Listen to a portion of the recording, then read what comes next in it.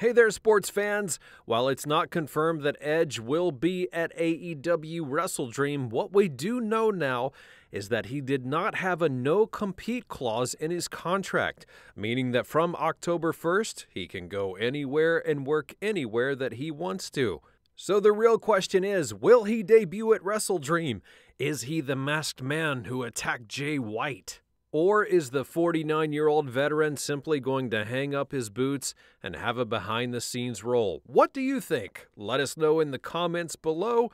Enjoy WrestleDream, and we'll see you tonight afterwards for our second full length episode of the Use Your Weight Wrestling podcast.